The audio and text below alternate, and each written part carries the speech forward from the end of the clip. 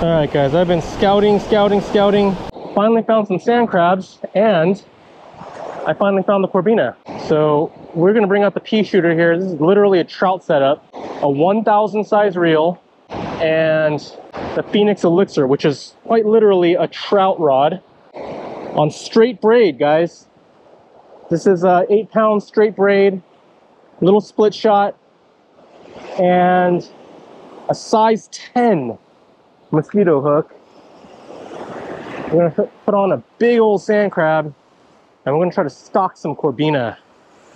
So I like the biggest sand crab you could find and because that's what my mentors have taught me and I've seen them do it over and over and over again. I don't know the science behind it. I just know it works.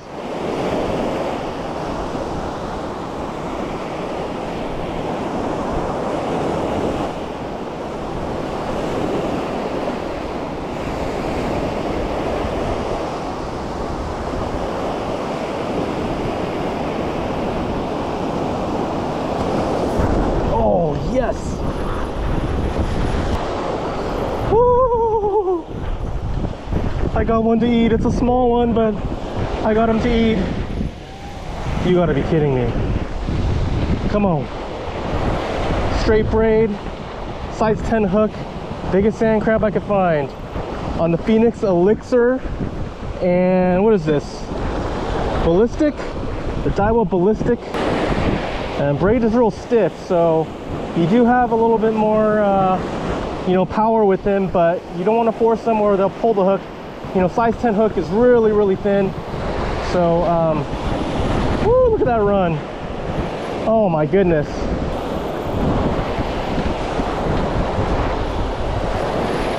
My goodness. He does not want to come in.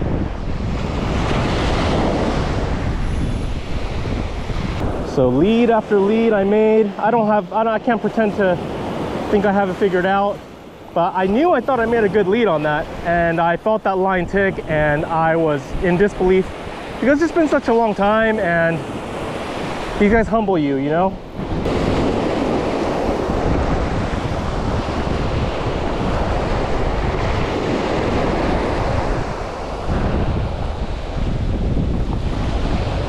Almost, almost. Oh, this is a toad. No wonder he was so hard to bring in. Oh my goodness. Right on the corner of the mouth. I don't know how big it is, but it's a, it's a good fish. Holy cow. Holy cow, it's, it's a nice fish. For sure.